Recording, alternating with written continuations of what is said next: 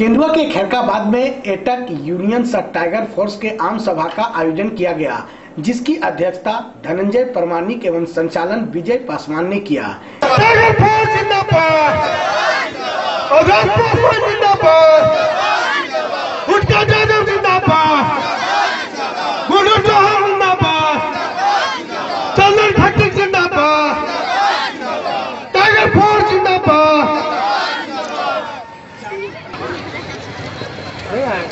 कार्यक्रम को सुचारू रूप से चलाने के लिए इस सभा में मुख्य अतिथि बागमारा विधायक डुल्लू मातो ने सभा को संबोधित करते हुए कहा कि जिला में जो भी विस्थापित की समस्या है, जिससे सभी गरीब लोग जूझ रहे हैं और यहाँ माफिया राज आज भी कायम है, यहाँ जो आउटसोर्सिंग कंपनी चल रही है, वो माफियाओं के शरण में चल रहा है। यहाँ के लोगों को रोज़गार से वंचित करके रखा गया है।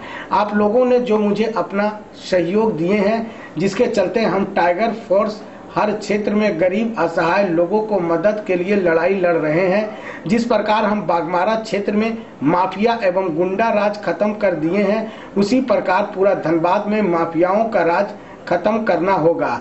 तब गरीब मजदूरों को उनको, उनका हक मिल सकेगा। मैं हम लोगों ने दो चार रोज पहले भी वहाँ पे मीटिंग किए। मगर वहाँ पे भी इसी प्रकार का स्थिति। बना हुआ है, जो दूर दूर से आकर माफिया इस क्षेत्र में हावी है, गरीबों को जो अपना हक और अधिकार मिलना चाहिए, वो नहीं मिल पाया। आउटसोर्सिंग कंपनी आती है। तो हमें लगता है कि इस क्षेत्र के गरीब शोषित पीड़ित, इस क्षेत्र के जितने भी विस्थापित हैं, सबको दरकिनार करके वो राइफल और बंदूक के बदौलत काम चलवाना चाहता है। मगर वो अब संभव नहीं है।